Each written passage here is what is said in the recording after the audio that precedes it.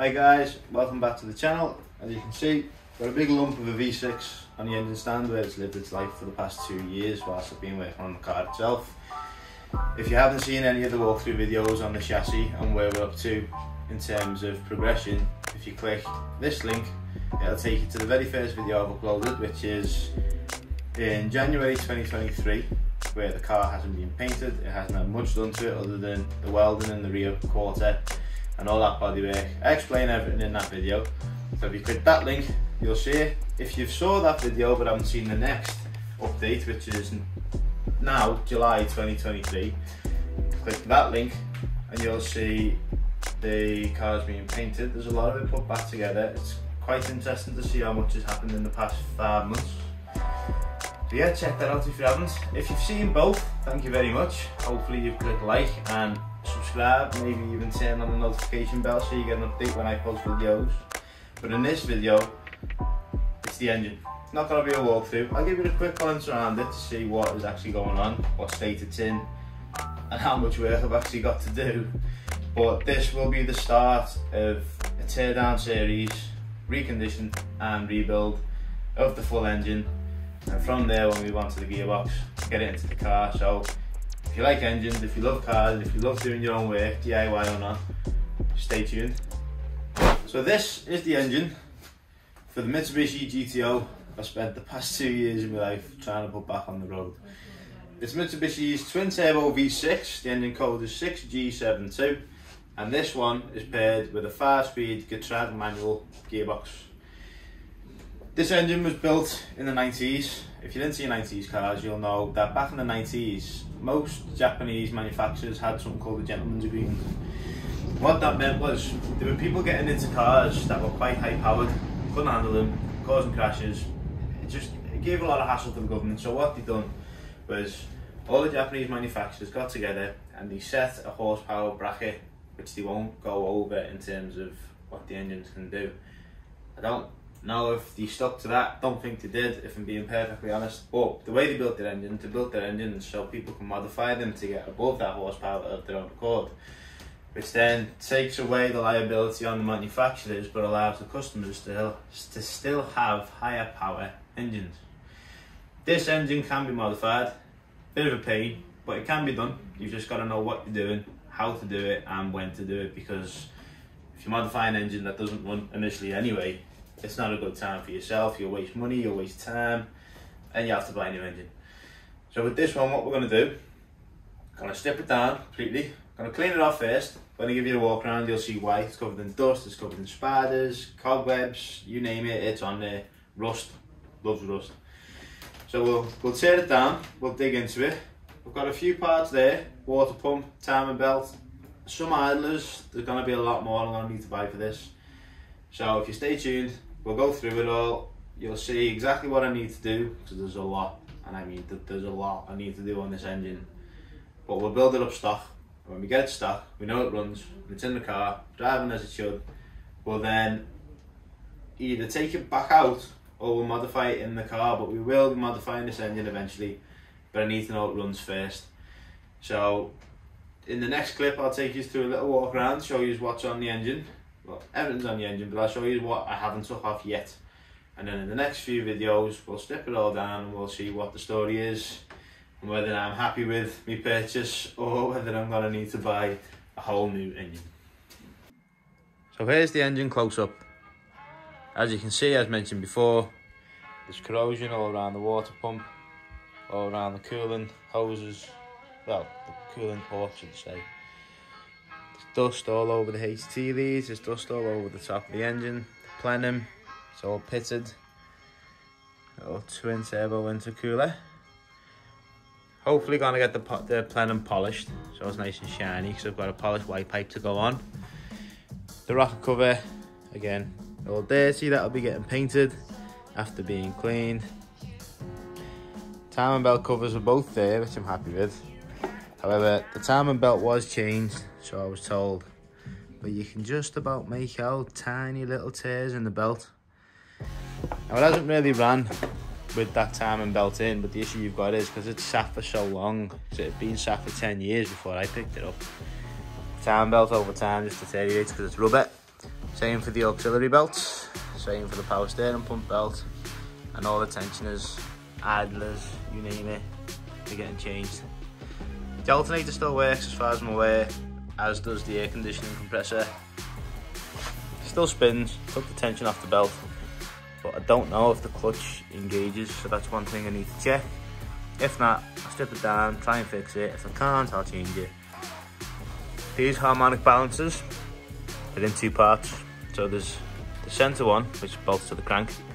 Then you've got a rubber intermediate part, if you will. I don't know what it's called. And then the outer, which drives the aircon pump and the alternator. So they, between these two, when the rubber deteriorates and shrinks and cracks, they separate. And you don't want that coming off whilst you're driving because it takes everything out around it. You lose your aircon, you lose your alternator. It's not a fun time, it just needs to be changed. And then the power steering pump on this engine for this year, it's ran with a V-belt, whereas on the year after, I believe, it's ran with a ribbed belt like these. So there's a few little differences between them all.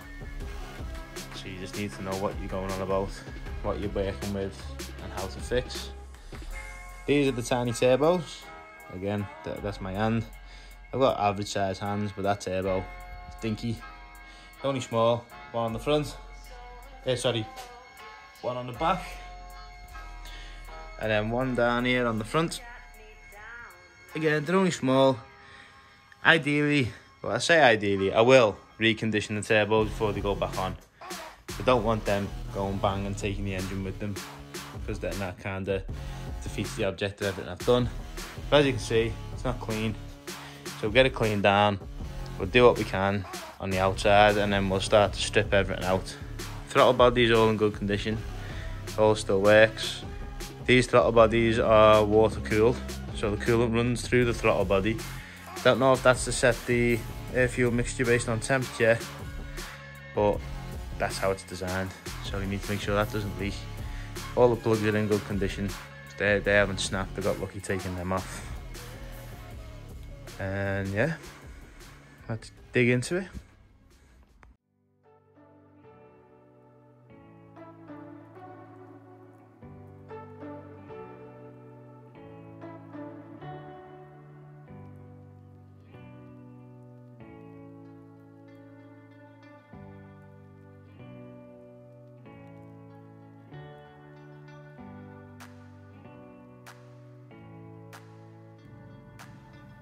So, give it a brush down, give it a hoover. Got a fair bit of the dirt off, a lot of the surface dust. There's a fair bit still embedded into everything, but as you can see, there's a lot going on, so you can't get to it all. But it's looking a lot better.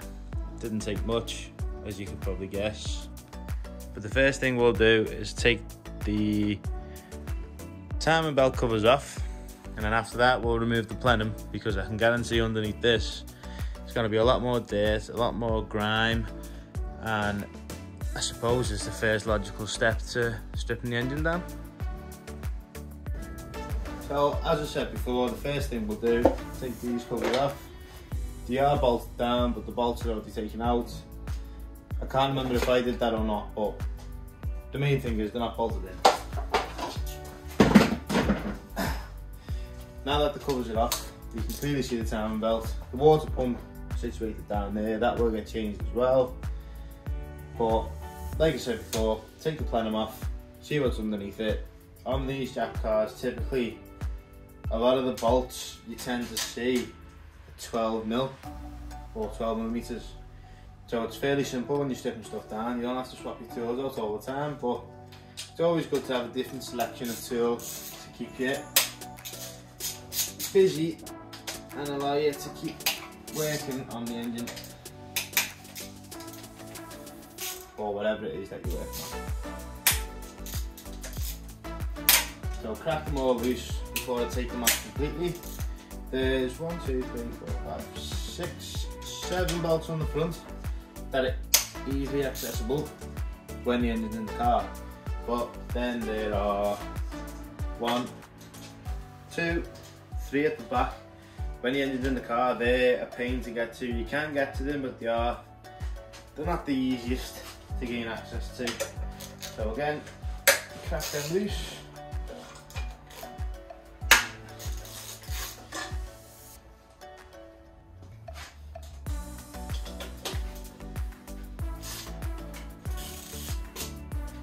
And now that all the bolts are loose, we'll go through, we'll take all the bolts off and we'll organise everything. So if you ever want to do a rebuild or you're going to strip something down or you've got a project, the best thing I could recommend, and I'd say this time and time again, is Ziploc bags. Ziploc bags, great because you put all the bolts that are in a group in the bag, you write on the bag what area they're from, where they're from, whatever you want to do with that. Just label them up, keep them all together, and then as you're going back through it all, when you come to assembling it all back together, you know what bag to grab for what bit you're working on. You know how many bolts you had initially, so then you'll know what you need to replace. If you get replacements, you'll know what types you need to get. They're just, they're great. I can't sing the praises more than I have, but I would highly recommend it because you've saved me on multiple occasions. So get your Ziploc bags, open it up, and as you're taking the bolts out, we'll just throw them in the bags, and we'll label on the bag, plenum, so then we know where they came from and where they're going to go back to.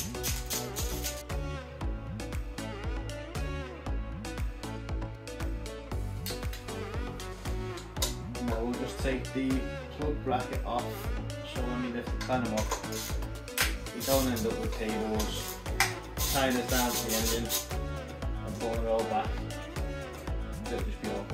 Fit. Take them off, put the bolts back on the holes, that's another technique you can use. Again, helps them in multiple different scenarios, but if you remove something like brackets, if you can put the bolts back together, eh, so if you can put the bolts back where you got them from, it saves you the hassle of trying to figure out what bolt went there later on when you come to put it all back together. So now we've took all the bolts out the front of the plenum, even the corner nuts, they're on studs.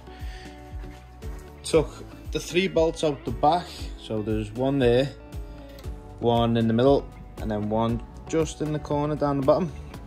Then on the side, like I said before, the throttle body on this engine is water cooled, so these two hoses, again, not in great condition, like, but these two hoses come off, so you've got to take them off, that one there, and the pipe at the back.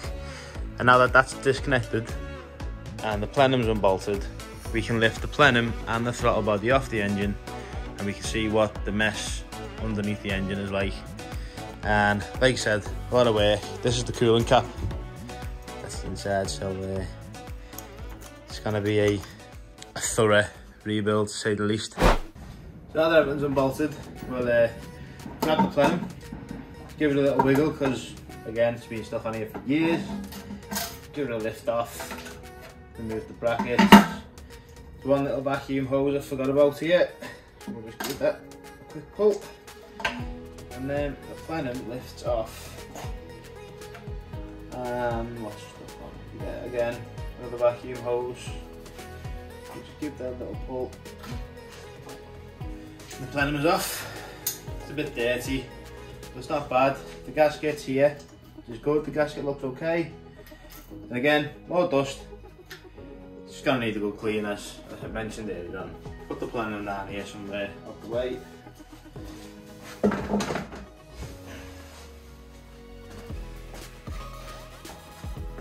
And I'll show it.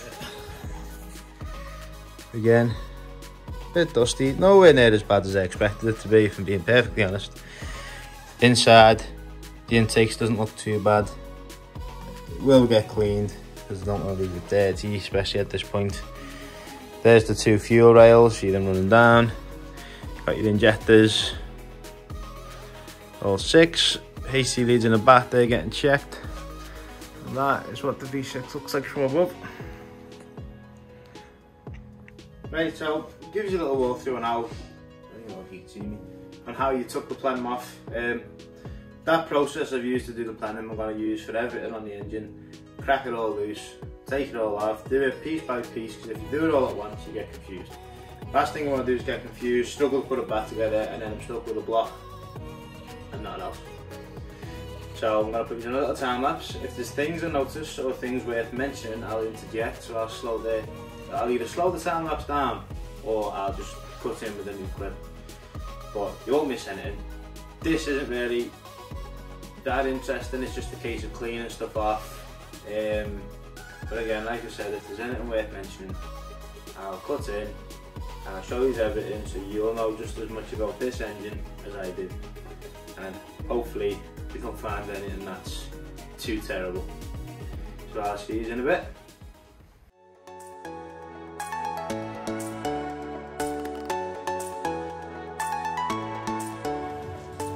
So I've started looking at all the HT leads, they all seem okay. No nicks, no tears. Could definitely do with a clean up, but we know this. Um, all the plugs look okay. And from what I can remember, I didn't have any misfiring issues anyway, so I'd like to think that you're, they're all in good working order. But again, because it's been there two years since you've last run, I don't know. Coil packs look okay, the bracket's a bit rusty. Some of the base of the coils are a bit rusty, so maybe need new coil packs, but I'm not too sure yet. Um, we won't know until we try and turn the engine over and it doesn't work. Or I'll try and find a way to test the coils with the multimeter, see if the resistance values are in the right area, and we'll go from there.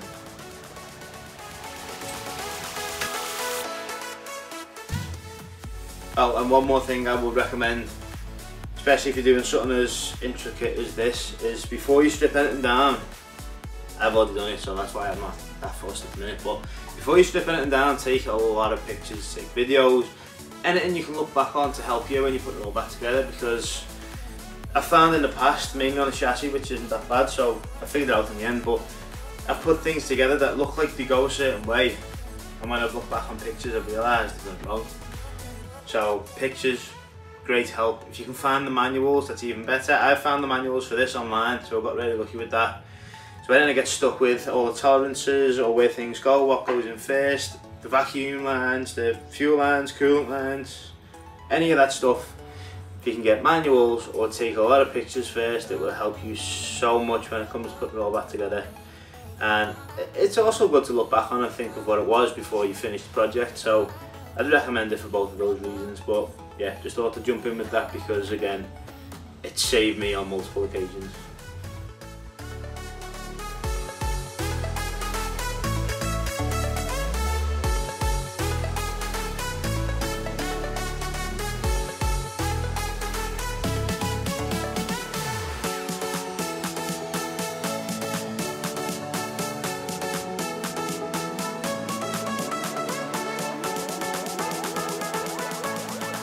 So, the intake runners are out, the fuel injections are out, injection, the fuel injectors are out, the fuel rails down there, ignition, plenum, uh, intake runner, only assume. The gaskets are still on here, but they feel very, very thin, you can see that one peeling off. So they're all getting changed anyway, I'm not that bothered about that. So this is the tube that comes from the water pump comes around the back and it goes to this which then takes it down to the radiator to get cool come back back up through the engine and so on and so forth. But uh, try and get out the light it's quite rusty which isn't a shock but it's not too bad. It is fixable and we can eventually get this going again. Put you back on the time lapse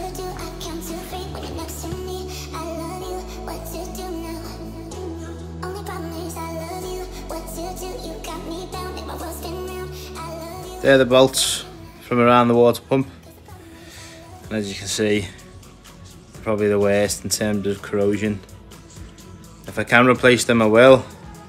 If not, I'll definitely be taking all that rust off and retreating them so that doesn't happen again. So this is how bad the cooling journals are inside. I only imagine what the inside of the engine's actually like. But this here, this is a coolant line going straight to the back turbo. And as soon as I pulled the hose off, the end came with it. So I'm probably gonna try and buy some pipe for that. Make some new lines. The only issue is the banjo fitting on the end. So I might just have to buy a whole new pipe for this if I can't make new ones. But yeah, don't you just love rust?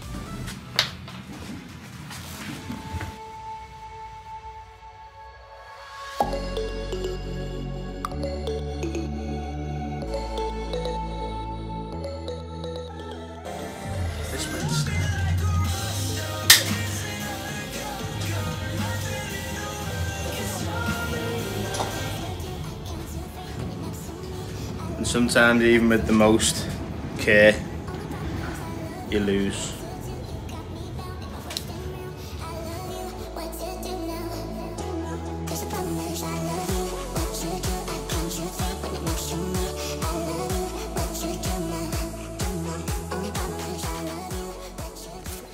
Right, so made a bit of a rookie mistake there, nothing too terrible, but this is the the coolant pipe. I don't even know what it's called, I'm being perfectly honest.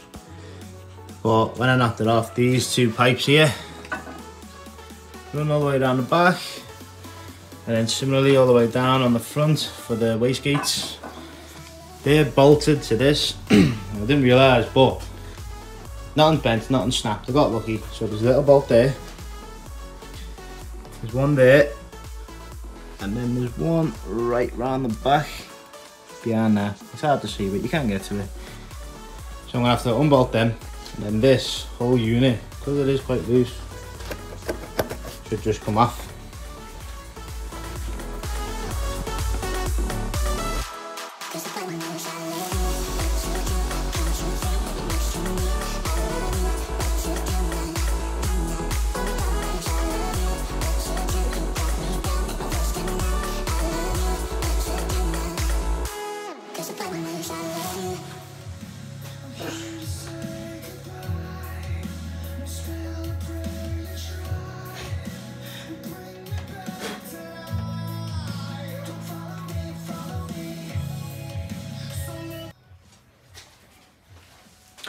I'm half disappointed in myself because I've only just realised that's the thermostat housing. Struggled to remember what it was called. Yeah, yeah. Don't think you can see on the camera, but the thermostat's definitely gonna need changing because that is the rustiest, the rustiest thermostat I've ever seen. But yeah, she's out. It's not great. You can see rust everywhere. Gaskets failed on that side, hence all the corrosion. But it's a good job we're doing everything, isn't it?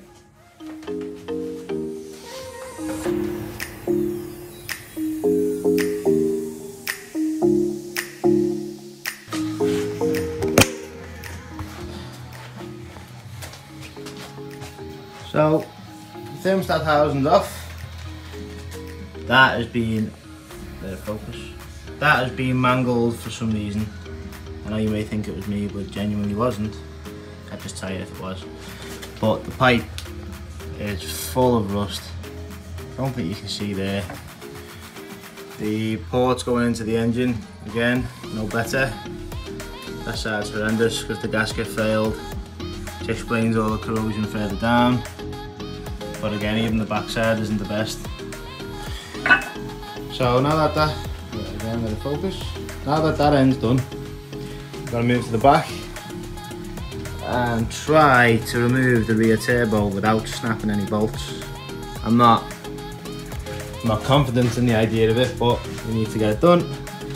Because we need to remove this, which is the oil line for the turbo from down there, from the pump. And then we've got the oil return line underneath this corrugated pipe. That's gonna have to come off. Otherwise you won't be able to pull the turbo out. And then this here, oh, sorry. This here tells me that the coolant lines for the turbo have been leaking. Or luckily, it might just be corrosion. but either way it's not great. Yeah, spin the engine.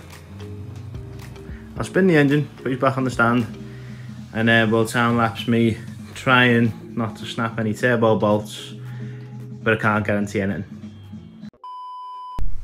So I messed up a little bit, probably down to inexperience. After recording the engine video, I went home to edit the footage and I realised the video itself was going to be about 40 minutes long.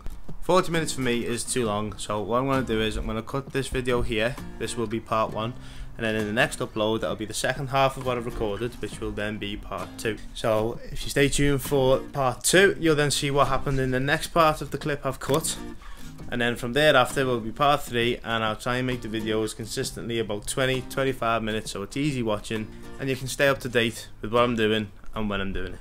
So thank you very much for watching, like, comment, subscribe and I'll see you in the next one.